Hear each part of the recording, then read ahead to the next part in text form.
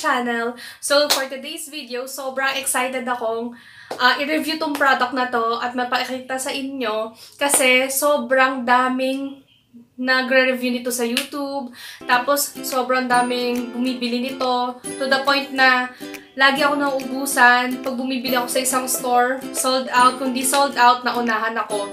So, ayun, sobrang happy ako kasi finally, nabili ko na siya at meron ako. Pero, yung isang product naman, which is, um, hindi ko nabili lahat ng shades kasi sold out na siya. Bali, isang shade lang yung nabili ko. So, nakakalungkot lang kasi hindi ko mapapakita sa inyo yung ibang um, pagpipilian na shade. So, ayun. At kung gusto nyo malaman kung okay ba yung performance ng products na to, then please keep on watching. So, as you can see guys, wala nga akong makeup or kahit lip and cheek tint lang. Or basta kahit ano, kasi nga, Uh, gusto ko mapakita sa inyo kung paano ako um, mag-apply ng product, like ng tinted sunscreen, or kung ano yung mga ginagamit ko pang iba for everyday, or kapag ka umaalis ako. Tapos, ayun nga, excited na ako ipakilala sa inyo, or i-review sa inyo, eto nga siya, si Caroline Play to Slay Palette. So, eto talaga yung sobrang sikat ngayon. As in, sobrang lagi nasa sold out, Ayun nga, kaya ngayon ko lang siya na-review kasi nga ngayon lang ako nakahanap ng Chempo or ngayon ko lang siya nabili kasi lagi nga siyang sold out. Pero, eto nga siya, na-chempohan natin siya, meron na. So, ayun, excited na ako i-review sa inyo. So, first, bago natin siya uh, tingnan or subukan, papakita ko muna sa inyo yung packaging. So, eto siya. Ayan yung box niya. Nakalagay lang dyan is Careline Full Face Palette. Sobrang nakitan ako sa um, packaging niya kasi sobrang simple lang. Tapos, sa likod naman is, ganito yung nakalagay. Ayan yung price. So, 275 pesos. Nakalagay is Careline Full Face Palette Play to Slay. And then, uh, nandito din yung color ng palette sa loob. Tapos, yung manufacture date. Tapos, yung iba pang um, details sa dapat na malaman natin. Tapos, naka-include din dito yung ingredients.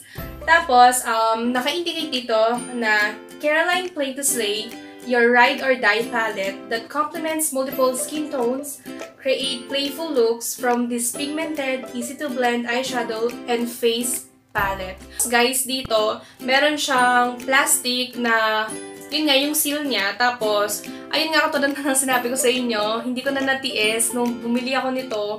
Sinwatch ko na agad siya pagdating ko sa bahay. Pero hindi ko pa siya natatry sa face ko. So, ayan siya. Pag binuksan mo siya, ayan siya, ganyan. Tapos, so, eto na nga siya, guys. Um, nakalagay din dito is Caroline Full Face Palette Play to Slay. Tapos, kung ano yung uh, itsura nung uh, drawing or nakalagay sa uh, harapan ng box, ganun din yung nandito. Tapos, sa likod naman is, um, ganun din yung ingredients, then uh, yung expiration, tapos this is good for 12 months upon opening, tapos yung manufacture date, then yung iba pang information na kailangan natin malaman. So, ayan. Ganyan. Tapos, eto, nung una ko siya nakita, um, ang naalala, ang naaalala ko sa kanya is yung mga watercolor, yung itsura ng watercolor. Ayun, di ba ganyan siya? So, ayun. Tapos, naman binuksan natin siya. Ganyan siya. Tapos, ilalapit ko sa inyo guys para mas makita ninyo. Ayan, ganyan siya. Hindi ko alam kung makita nyo mabuti. Basta ganyan siya. Tapos, tayong apat na shimmer dito. Tapos, um, eight na uh, plain lang na colors. Tapos, meron tayo ditong dalawang, I think, blush on. Tapos, meron tayong highlighter. So, para sa akin ha, sobrang affordable na nito kasi, imagine, 275 pesos, meron ka ng isang full face palette na ganito yung itsura. So, malalaman natin mamaya kung okay ba siya or sakto lang. Tapos, ayun nga, So, bago ako magsimulang um, gamitin to guys, sabihin ko muna sa inyo yung thoughts ko um, dito sa packaging ng Careline um, Play to Slay palette. So ako, personally, nagustuhan ko siya kasi uh, hindi siya mukhang cheap. Alam niyo yung gano'n, na-surprise ako guys, sa totoo lang, nung nakita ko to, mas malaki siya. So, ko-compare ko, ayan. Ito yung mukha ko. Tapos, ayan siya. Ganyan siya kalaki, guys. Tapos, hindi ko ina-expect na 275 pesos lang to. Imagine, 275 pesos. Meron ka ng full face palette. So, sobrang ganda tong palette na to as um, parang starter kit para sa katulad kong nagsisimulang mag-makeup. Lalo na sa mga estudyante na mahilig sa makeup or magsa-start pa lang mag-makeup, mag-aral mag-makeup. Sobrang ganda to kasi imagine, sobrang affordable niya. Next naman is Caroline uh, Matte Liquid Lipstick in the shade uh, 22. So, ayun guys, sorry, wala na siya sa box kasi hanatapon ko na yung box. Pero, um, nakalagay din doon yung sa likod ng box nito, which is yung mga dapat natin malaman na details about this product, and then manufacture date, tapos yung um, kung ilang months lang siya upon opening, tapos sa taas nun, nakalagay din yung shade. Tapos guys, papakita ko muna sa inyo yung itsura. Ayan siya. May plastic yan. Tapos, ayun, kaso nga lang natanggal ko na. Kasi nga, sinwatch ko na siya. Ganyan siya. Tapos, dito sa taas, sorry ay mag-focus, basta, ayan, yung shade niya, which is 22. Tapos, dito sa baba, nakalagay lang dito is Caroline Matte Liquid Lipstick in the shade 22. Tapos, stock number, batch number, and manufactured date.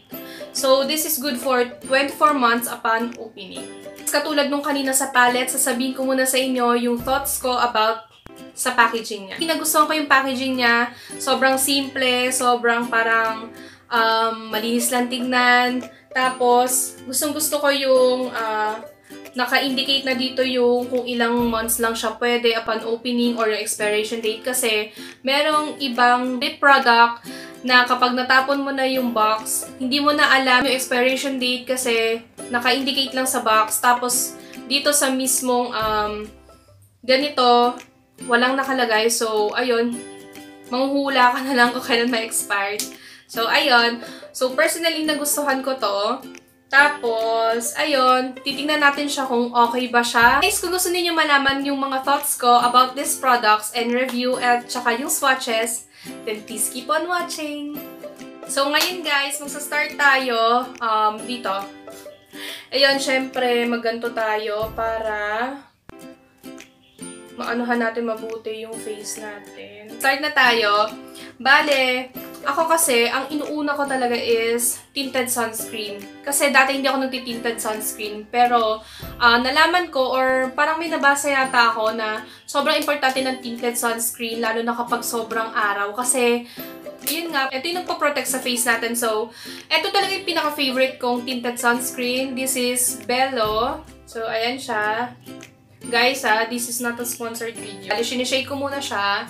Tapos, naglalagay lang ako ng konting amount. Yan. Ganyan lang siya.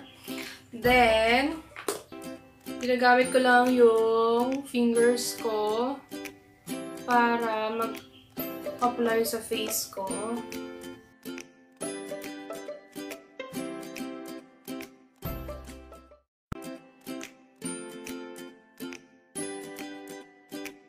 guys, um, ang ginagamit ko lang is fingers ko para i-blend to or para ayusin to. Hindi na ako gumagamit ng sponge kasi um, feeling ko mas matagal pa yun tsaka mas sanay ako pag fingers lang. So, ayun.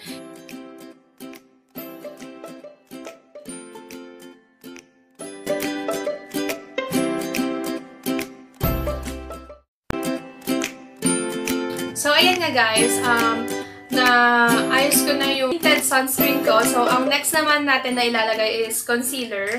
So, ito yung pimple concealer ng Careline. So, ito talaga yung ginagamit ko kasi kapag ka nga nagkaka-pimples ako, ayan, katulad dito, meron dito. Yan. Tsaka dito. So, kung ano lang yung part na may pimples, yun yung mas dinadamihan ko. Lagay lang ako dito. Tapos, after nun, i-blend ko lang siya using this uh, sponge ng Altea. So, fast forward ko lang ulit to guys, kasi baka maboring kayo.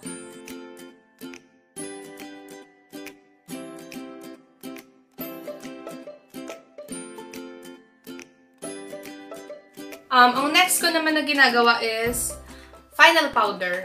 So, ayun, Kasi yun nga, oily ako. Kaya naglalagay ako ng final powder minsan. Pero minsan lang naman. Pero more on kasi baby powder yung ginagamit ko. So, meron ako ditong Nichido Final Powder. Shade Creamy Glow. So, lalagay lang tayo ng konti. Gamitin ko is itong buff na Althea.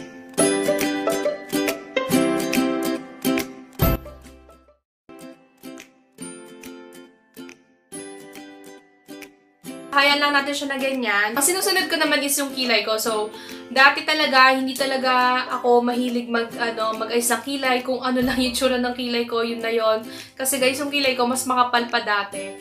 Pero ngayon, uh, parang pinaayos ko siya nung ano, uh, nung bago ako graduate. So, ayan, ganyan na itsura niya. Sa kilay ko, ang gagamitin ko is ito, Maybelline Color Drama Mascara. So, ayan. Kung nakita niya, basta ganyan. Tapos, color brow siya. Kaya naman ako naglalagay nito kasi para magpantay dito sa color ng hair ko. So, ayan. Ayan. Then, after naman yan, ang ginagawa ko naman is, mag-apply tayo ng concealer. So, gagamitin ko ulit tong Careline Pimple Concealer. Uh, bago ako mag-apply ng eyeshadow, gagamit muna tayo nito para mas kumapit yung um, eyeshadow.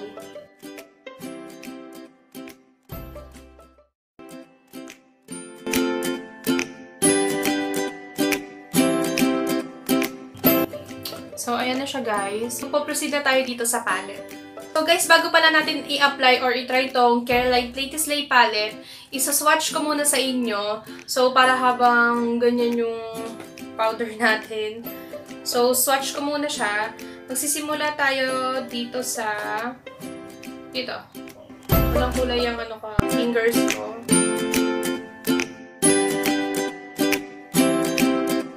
Uh, ito, mayroong shimmer. Ganyan siya. Color gold siya. Ayan. Kita nyo ba? So, ayan siya. Tapos, pangatlo naman is itong uh, parang peach. So, ayan siya guys. Ayan. So, meron akong wipes dito para ano, para hindi magkalito-lito yung kulay or hindi magkapatong-patong. Then, next naman is ito.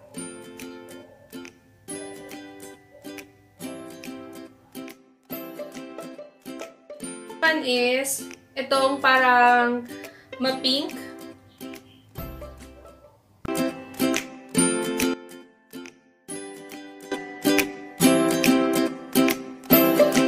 Next naman natin is itong parang ma-brown konti.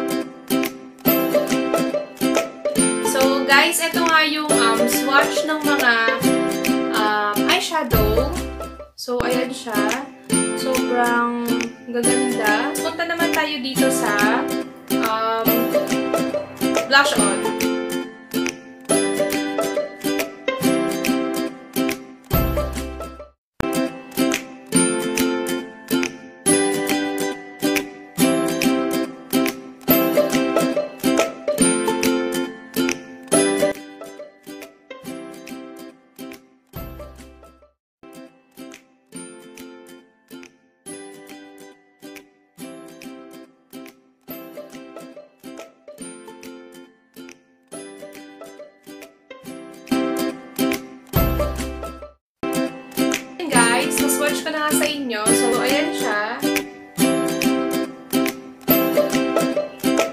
Kaya dito tayo naman natin.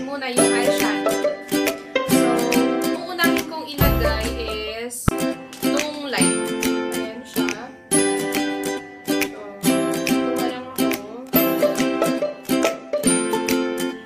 So, guys, ayun lang yung um, parang medyo downside nito kasi um, powdery siya, tapos may mga fallouts agad dito sa palette. Ewan ko kung nakikita nyo, may fallouts agad siya dito. So, ayun, titingnan natin kapag pinahid natin or pag in-apply natin siya dito sa may ano ng eyes natin kung meron siyang fallouts. Gagamitin ko ulit yung mirror ko para mas makita ko.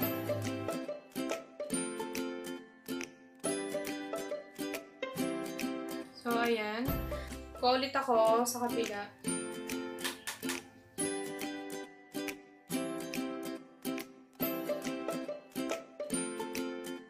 So, ayun guys.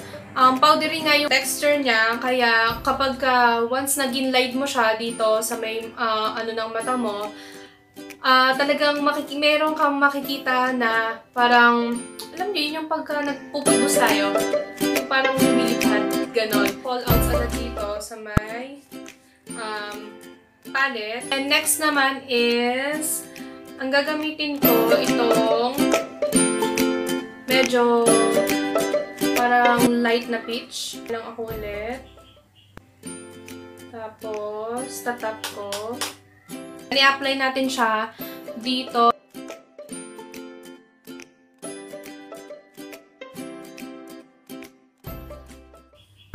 Yun siya, guys. Next naman is, kukuha ulit ako nito para sa kabila.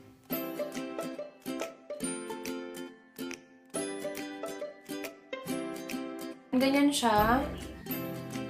So, next naman na gagamitin kong shade is mm, in fairness naman, kapag in-apply mo siya, sobrang kumakapit agad siya.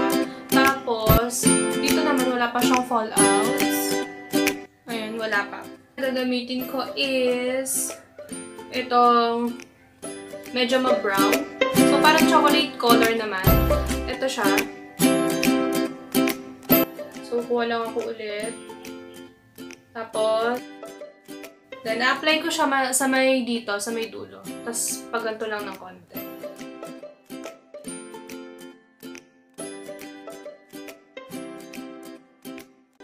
So, guys, gagawin ko lang yung makakaya ko, ha.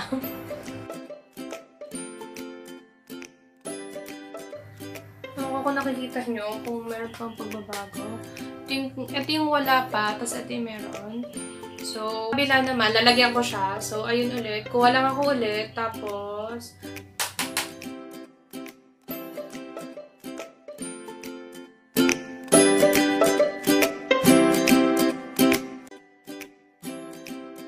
Ibe-blend ko pa yan.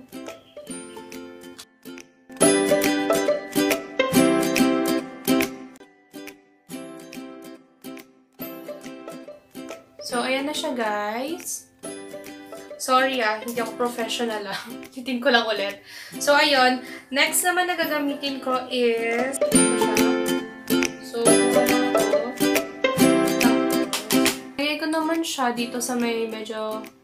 Um, doon sa kanina pinaglagyan ko para lang uh, mag-blend sila. Nung una ko nilagay na color.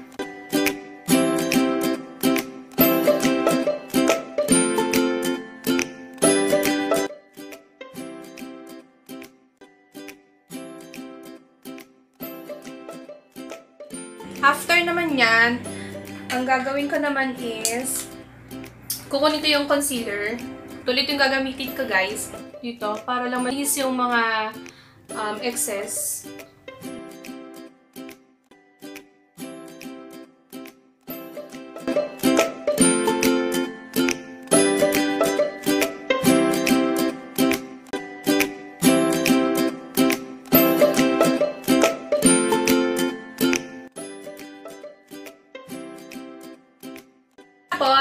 Next naman is, gagamit ulit tayo ng Caroline Pimple Concealer. Apply ko siya dito, sa gitna.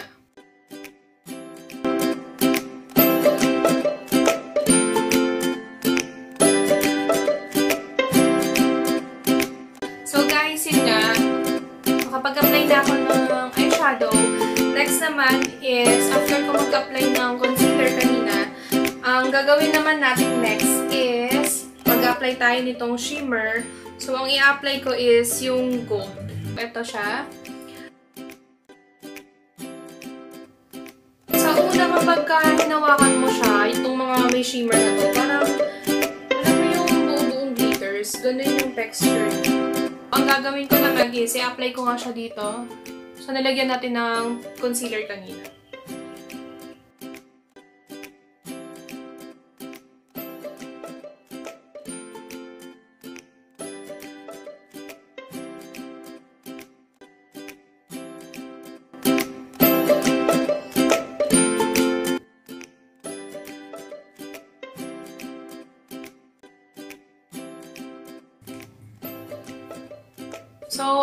Siya guys. Nalagay ko na rin yung may glitters.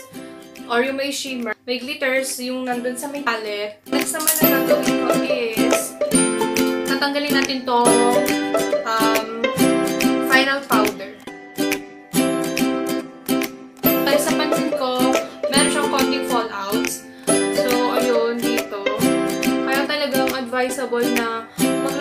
Siguro kayo ng final powder or kahit anong powder dito sa may area ng ganito nyo kasi para at least madali siyang linisin.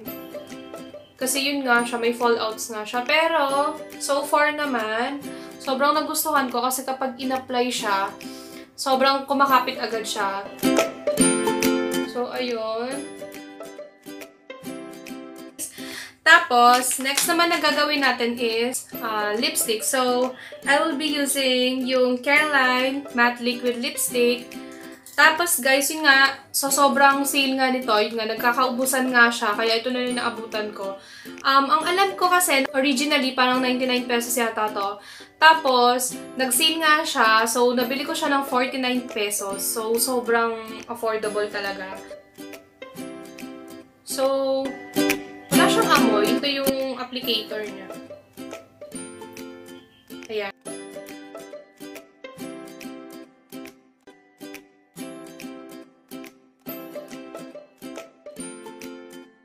Wow! Ang ganda ng color. At saka sa personal, sobrang ganda niya. Sobrang nagustuhan ko. And, yun nga lang, medyo malagkit siya. Ayan guys, kung makita niyo. Ayan, ganyan siya.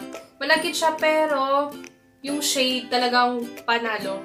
Sobrang ganda. Tsaka, uh, yun nga lang, ang hindi niya nalalagyan lahat sa isang swipe lang. So, kailangan mo talaga na makikip ng dalawa. Kung gusto mo na ma-achieve yung talagang cover na cover yung lips mo. So, ayan siya guys.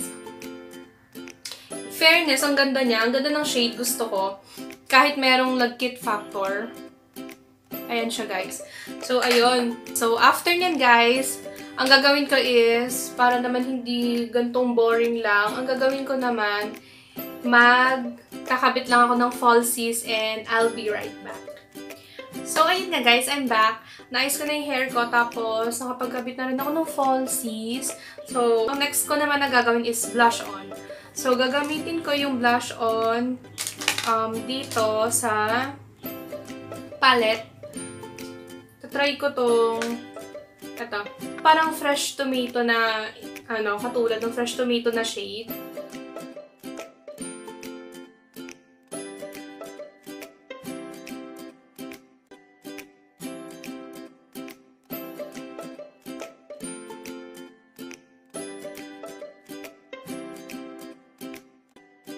Kita niyo ba yun?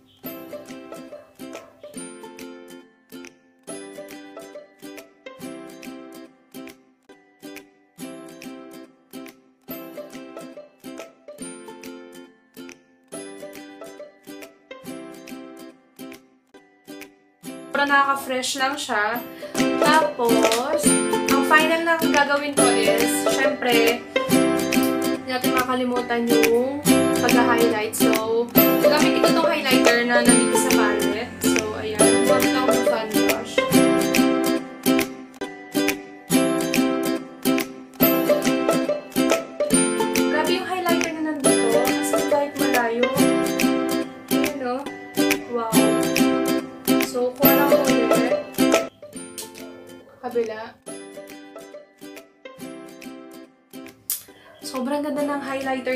Guys. Promise.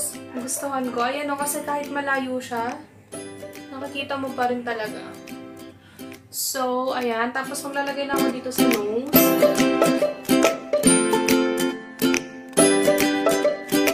Tapos, sa chin.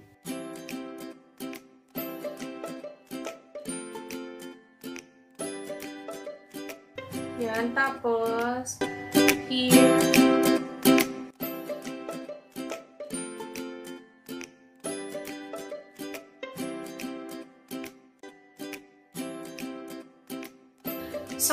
Guys, yung kinalabasan niya, sorry guys kung hindi ko alam kung okay ba to or sobrang basic lang nito para sa iba. Kasi para sa akin, okay na to kasi parang ito na yung pinaka uh, pack na pack na look na nagawa ko. Kasi syempre, hindi naman ako marunong mag-makeup.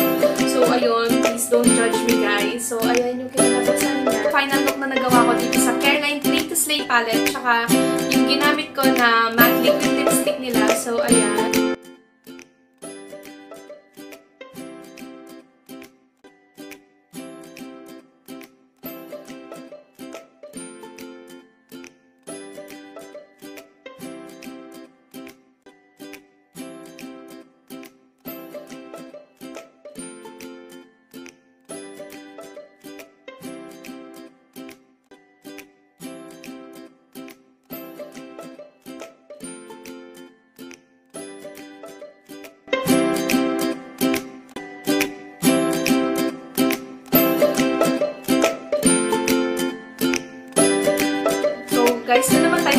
Ko about dito sa Careline Pink Slay palette nila and then dito sa matte liquid lipstick. So first, dito muna tayo sa palette nila. Nagustuhan ko siya, pero ang downside nga lang dito